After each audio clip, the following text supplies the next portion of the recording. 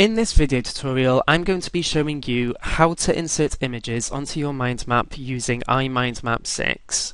Firstly, I'll show you how to insert images using the image library. To insert an image onto your branch, you firstly just need to select the, the branch and then select images from the vertical side panel. You will see that the branch name is automatically entered into the image search box. You then just need to select the search icon in order to search for your image. You can then insert an image by simply selecting it. The image will then appear above your branch and you will see that it is connected to your branch with the dotted line appearing here. Within the image library, you can also browse for pictures on your computer and also add images to your favorites.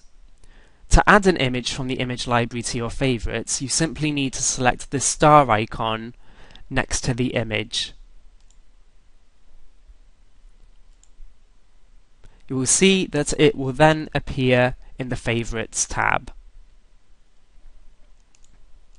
To insert an image from a file on your computer, you can simply select a branch and then you can either go to Browse within the image side panel and then select the image again.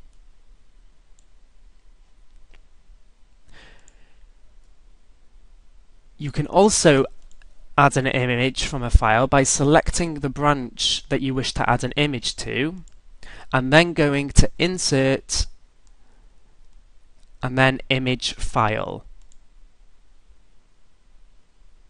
You can then select a image file from your computer.